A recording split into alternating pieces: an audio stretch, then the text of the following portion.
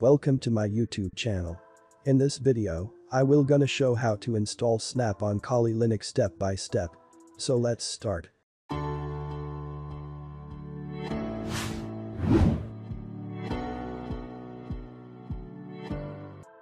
So first of all open your terminal and update your Kali Linux using this command.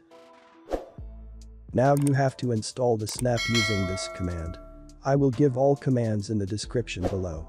Snap is a software packaging and deployment system developed by Canonical for operating systems that use the Linux kernel. Snaps are containerized software packages that are simple to create and install. Now you have to enable the Snap services using this command.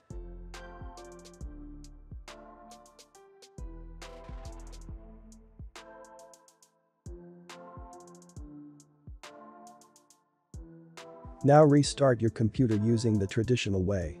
Or you can restart using this command. Now after rebooting your computer, you can verify the installation of Snap. So you can check the version of Snap using this command. Now you can install the Snap Store using this command. I will give all commands in the description below. Snap Store is a graphical desktop application for discovering, installing, and managing snaps on Linux.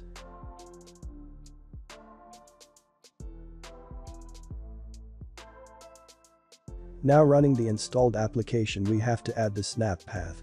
So open your shell configuration file. It can be bash or zsh. In my case, I am using the zsh shell. So open the .zshrc file using this command.